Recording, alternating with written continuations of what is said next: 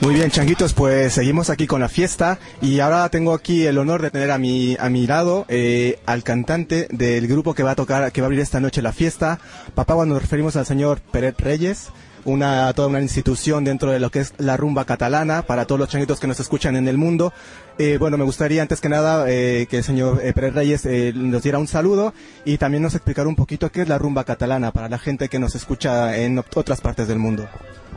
Hola, ah, bueno, soy del, del grupo Papagua. Estamos aquí esta noche con mucha ilusión, muy contentos además porque estamos con unos amigos nuestros como son la Trova Kung Fu, que hemos tocado varias veces juntos. Y bueno, la rumba, somos rumberos, sí, y la rumba catalana es, bueno, es la esencia, diría yo, del, gitano catalán. ¿eh? Es con lo que vive el gitano catalán y con lo que se ha hecho un sitio, yo creo, en en el mundo entero ya, la rumba, lo que es la rumba catalana. Entonces nosotros lo que intentamos hacer, ah, lo que ha intentado hacer Papagua desde un principio, es enseñar a la juventud de ahora qué es la rumba en estado puro, qué es cómo es la rumba tal y como nació en Barcelona. Que en este momento, por eso lo hicimos nosotros, creemos que no hay ningún grupo que esté haciendo la rumba tal como nació, tal como es, en estado puro. Todos están haciendo fusión.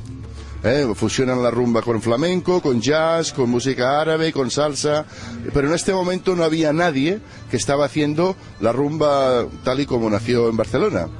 Y Papagua decidimos hacerlo así y somos tres, solo tres. Dos guitarras, un bongo y nada más, y voces. ¿eh? Y, luego un invento que, bueno, me hice yo, me hice yo a medias. Un invento que es una mesa que yo pues, me siento y hago percusión en la mesa y canto. Que esto fue, la primera que introdujo esto en, en escena fue Carmen Amaya en una película de Los Tarantos, que salía en la película ella tocando en la mesa haciendo compás y cantaba. Y nosotros, yo recordaba esto de pequeñito, de verlo, ¿no? Y dije, pues, ¿por qué no, no, re- no rescatar esta mesa de madera Y aplicarla. y aplicarla hoy en día a la rumba? Porque además es, es como una tradición como muy gitana. Lo de hacer compás en una mesa y cantar es una cosa muy, muy gitana que se ha hecho siempre. Pero al escenario nadie lo había, lo había hecho, ¿no? nadie, lo había llevado, aparte de Carmen Amaya, en la película de los talentos y decidimos incorporarla, bueno, y es algo que es, eh, sea- es algo ahora muy importante en el grupo, porque además gusta mucho a la gente, es algo nuevo y les está gustando mucho. Algo novedoso, la gente se emocionará mucho, se emocionará mucho en esta parte la gente, me imagino. Sí, les gusta, les gusta mucho. Y entonces, pues bueno, en esto estamos, ah, y ahora, además estamos contentos ahora porque el mes que viene eh, sale un, el primer disco de Papagua a la venta. Y bueno, esperamos que, que guste a todo el mundo. Y estamos muy contentos y esperando este momento. Bueno, Bueno, pues changuitos han escuchado una explicación bastante elocuente de lo que es la rumba. Es un ritmo que de verdad les recomendamos mucho escuchar porque, bueno, te hace bailar en cualquier momento. No, no, no, no. La, alegría nunca, nunca baja cuando se está tocando una buena rumba catalana. Nosotros, ¿sabes qué decimos siempre, Papagua? Que noso- nosotros no hacemos rumba para que la gente baile.